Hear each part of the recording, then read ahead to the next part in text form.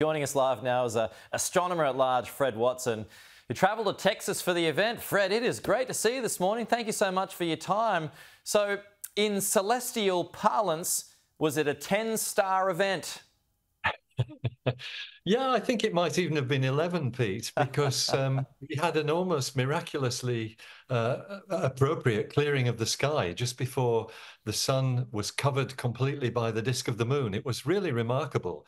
Uh, and the other spectacular thing about this eclipse is, as was kind of mentioned in that uh, in that uh, package you just showed, uh, the timing. It was a lengthy eclipse, four minutes twenty three seconds here in Texas where we were, and it was gave us time to really savor the the details of what we were looking at through binoculars uh, and telescopes uh, as the sun was obscured by the moon. And then, did you feel the temperature drop as well, Fred?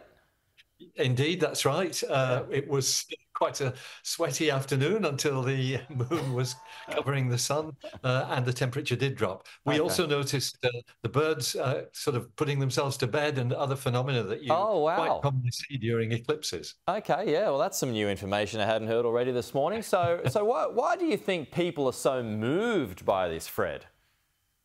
It's as, as was mentioned a few minutes ago, it's the rarity of it. Now, they're not actually that rare, these eclipses, but yeah. over any one particular point of the Earth's surface, they are. So, for example, uh, you know, our next one uh, in the Sydney area will be uh, in 2028. Uh, that's quite a long way down the track.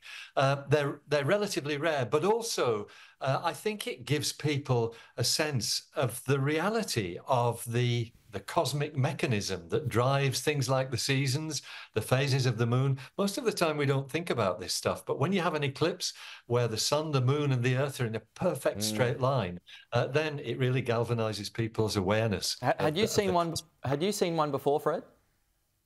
Uh, this was actually my sixth. Okay, yes. okay, you've uh, seen six. So, so how did this one compare? I think it's one of the best, I have to say, um, especially with the relief as the clouds cleared. It was also held at a rather nice winery, not very far from oh, Fort okay. Worth in Texas, where I am now. that uh, adds to the experience. Indeed, it did. Uh, but that is, uh, you know, that's another point. The, the, the, reality, though, is that eclipses do become addictive. You, I've just heard, I've seen six, and I never expected to be to become an eclipse junkie, but I think mm. I'm heading in that direction, Pete. Well, the ne- is it the next one's in Spain? Am I right? That's right, Gibraltar uh, um, yeah, in southern Spain. Um, you might find me there then too. Okay, well, I look forward to talking to you then too. Hey, Fred, what an experience for you. Thanks for uh, sharing some of that for us. Appreciate it.